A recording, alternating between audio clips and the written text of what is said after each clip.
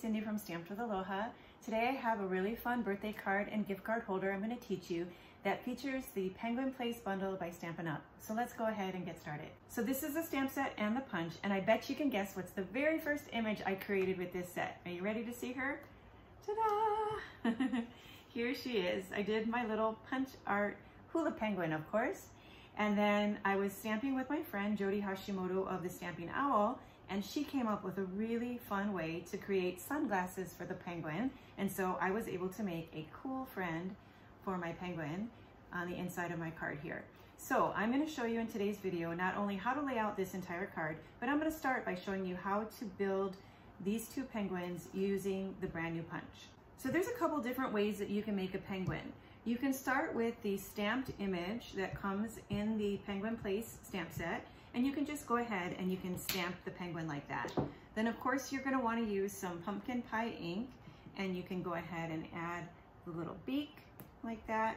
And then there's even stamps where you can add the feet and you can add other embellishments, a scarf, antlers, all kinds of really fun things in the stamp set. Now, when you're ready to punch this out, you're gonna go ahead and use the punch. You're gonna slide your stamped image in there and you can just punch out your penguin just like so. And then you have the feet on the bottom there. So then you can go ahead and line up a scrap piece of pumpkin pie cardstock and you can punch out the feet just like that, as easy as that, okay? So this is one way that you can assemble the cute little penguins. So now I'm gonna show you another way you can use the punch. So I have some black glimmer paper and I'm gonna slide this in here and I'm just going to do just this image here. And of course for this card, we're gonna need two of these. So let me punch out two of these. For the next step, I'm gonna take the punch again, and this time, I'm gonna just punch out this portion here out of white.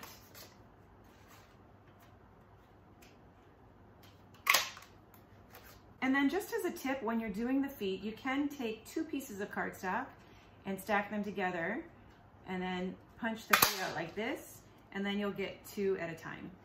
And of course, for this card, we're gonna need two sets. So let me go ahead and punch out a second one.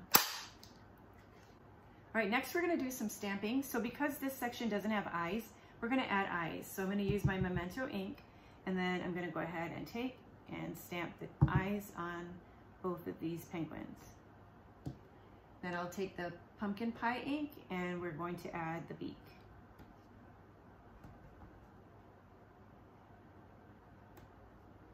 All right, and then I'm gonna just quickly glue these together. So I added the bodies onto the glimmer paper using my multi-purpose liquid glue, but for the feet, I'm gonna go ahead and use my glue dots for that. Okay, so the feet are on our little penguins and now we're ready to do some fun punch art. So the first thing I'm gonna teach you how to do is the sunglasses. Now, Jodi came up with this fabulous idea and the only thing I did to tweak it was I added the Laura's tape technique or the LTT. Okay, so we're gonna start with a scrap piece of basic black cardstock, and then I'm gonna take some Scotch brand tape. I'm just gonna cut a tiny little piece, and then I'm gonna cover the cardstock with the tape. Okay, all right, so now that I have the card, the tape on the cardstock, I'm gonna take the punch, and I'm gonna slide the punch in there. Now, this is gonna give a really big pair of glasses. So what I need to do is I need to crop this down a little tiny bit. So I'm gonna come in here and I'm just going to cut off a little piece of that cardstock. And now let's measure it up again. So I'm gonna stick it in there and now that's much better. I have a little bit more room to make the glasses a little bit smaller. So that looks good right there, okay? So then you just make sure that it's even and then you can go ahead and punch it out. And then now you have a really cute, shiny, fun pair of sunglasses for your penguin. So I'm gonna go ahead and add some glue dots and glue this on.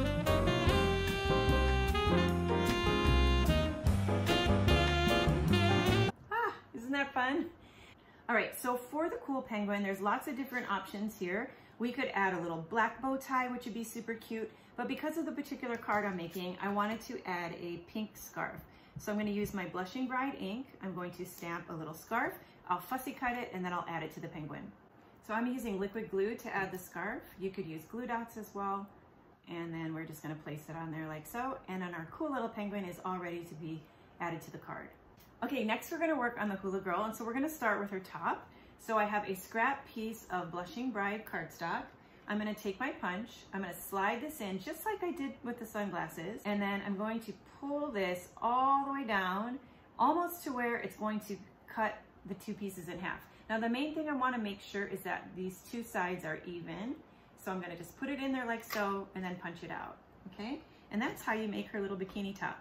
Now, if you'd like, in order, if we were to just put it on like this, it's pretty wide for that area. So we need to bend it and it's gonna go on there just like that. So you can either just add your adhesive and you can put it on just like that, or you can also cut it in half and add it in sections. But that looks pretty good. So I'm gonna go ahead and just add my adhesive to the back and stick this down.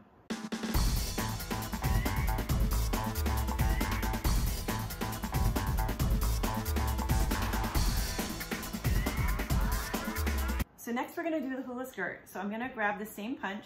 I'm gonna use a scrap piece of evening evergreen cardstock and I'm going to stick it in here like this so that it punches out the bottom half of this larger penguin.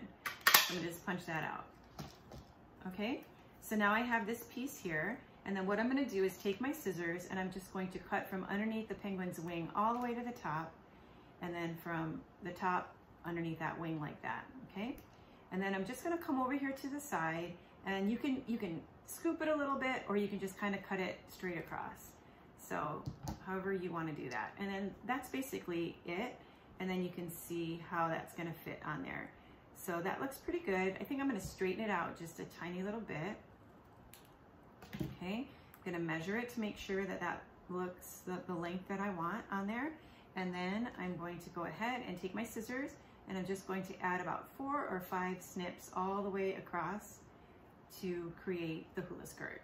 And then of course, if you want, you can just fluff it up a little bit and then we'll go ahead and add your glue dots or your liquid glue. I'll be using liquid glue and then we'll glue it on.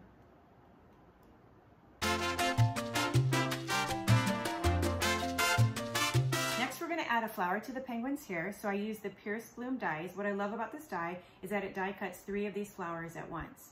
So I'm gonna take the little flower, I'm going to add a mini glue dot, and then we'll just add that to the top of the penguin. And then we'll go ahead and embellish this with a rhinestone. Okay, there's the two little friends, aren't they cute? Okay, so now we're gonna just make a balloon and then I'm gonna show you how to lay out the base of this card. All right, so for the balloon, we are going to take a scrap piece of the Blushing Bride I'm going to be using Blushing Bride ink and then the balloon image that comes in the stamp set. So I'm gonna go ahead and I'm going to just stamp that on there. Okay, so it's a nice pink balloon, Blushing Bride on Blushing Bride, but we wanna add the Laura's tape technique to the balloon as well. So once you stamp it on there, all I'm gonna do is, you have, probably have a hint from what I did over here, but all I'm gonna do is just cover it up with tape and then I'm gonna fussy cut it. Okay, so now we're ready to do some stamping. So I'm gonna start with a small piece of basic white cardstock. This is one and a half by two and a half inches. And I'm gonna stamp with the happy birthday image from the Penguin Place stamp set. So I'm gonna stamp that up in the top right corner. And then also in the stamp set is this image here. I'm gonna go ahead and ink this up. And then I'm gonna line this all the way up at the top and have this coming down the left side of the card. All right, and then this is going to get mounted onto a one and three quarter by two and three quarter piece of evening evergreen cardstock. All right, so this is the cardstock where our little hula penguin is gonna go. So I'm gonna turn this around and I'm gonna add a couple of dimensionals. I'm gonna place a dimensional right over there to strategically hold her little feet on. And then I'll put another dimensional here and then she's going to hold onto the balloon. So we're gonna just set her on there just like so. And then we'll put this to the side till we're ready to add the balloon. I'm gonna go ahead and add one dimensional right there at the bottom of the balloon, okay? And then we're, we can set him to the side as well. All right, for the card base on this card, we have a five and a half by eight and a half of Pool Party cardstock. I'm gonna go ahead and just score it here on my Simply scoreboard at one and a half inches to form the gift card portion and then at four and a quarter inches just to fold the card in half. Okay, I'm gonna take and I'm gonna fold this up. I'm going to use a bone folder to make it nice and flat, and I'm gonna fold it again. Use a bone folder to make it nice and flat, okay?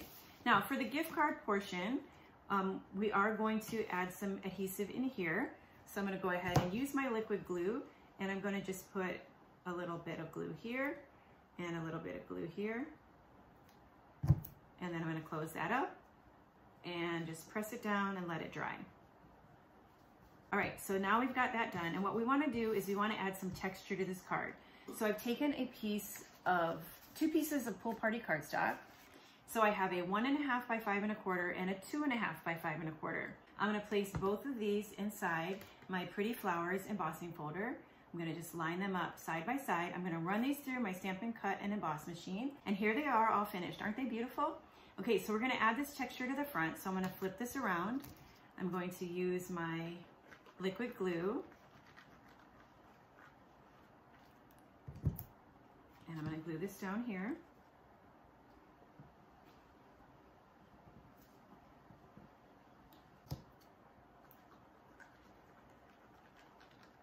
Okay, so now I'm gluing the second piece and I just realized that I cut these at one and a half by five and a half. So these are gonna go all the way to the edge of the card. I actually intended to cut them a quarter inch smaller, but guess what? There are no mistakes in stamping. And the only difference between this card and my original card is going to be that this background is framed and this one is going to go all the way across. Either way, we're adding texture and the card's gonna look great. All right, so now let's move on and we're going to add a piece of Evening Evergreen. This is three by four. And then I'm going to be using the Bloom Where You're Planted Designer Series paper. I'm going to add some adhesive behind here and I'm going to center this on the Evening Evergreen piece. And then I'm gonna take our little penguin piece. I'm gonna flip this around and I'm just going to glue this flat. I'm going to center that right on that bloom where you're planted. I just love this piece of the bloom where you're planted designer paper because it looks so tropical, so it's perfect for a little hula penguin. All right, and then to put this on the front of the card here, I'm gonna flip this around and add six dimensionals. Okay, so you'll notice I've already taken off the backing. I only have the dimensionals on half, and that's because when I flip this around and center it, I don't wanna have any adhesive on the right side. I just want this to be stuck to the left side of the card, just like so, okay? And then we have our balloon here. We've already added dimensional to that. This is our shiny LTT balloon that we're gonna go ahead and add right there to the front of the card. So the front of the card is completed. We're gonna open up the card and then what we're gonna do on the inside is we're gonna add our sentiment. So I wanna center this penguin when I put the penguin in there. So I'm going to grab my sentiment that says, to the coolest friend ever.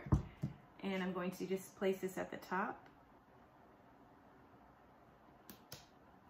Okay, and then I'm going to take my adhesive. I'm going to just use some liquid glue and I'm going to glue my penguin on the inside here. Okay, just press it down, give it a second to dry. And then we have a gift card here to Lululemon. Gonna slide that in there. It's nice and black and white. I like matchy matchy, but actually who I'm sending this card to does love Lululemon. So um, then we have the gift. We have our little sentiment. We're gonna close the card and there you go. So my card is complete and I hope that you enjoyed not only learning how to make a birthday card with a gift card pocket, but also learning some really fun creative ways to use the punch from the new Penguin Place bundle. I wanna say a special thanks to Jodi Hashimoto for teaching me how to create the sunglasses and I'm super excited to share with you in a future video even some more out-of-the-box things that Jodi and I have done with this punch. But I'm gonna save that for next time, and I wanna say thanks so much for stopping by to watch this video today. I hope that you'll come back and stamp with me again real soon. Until then, aloha.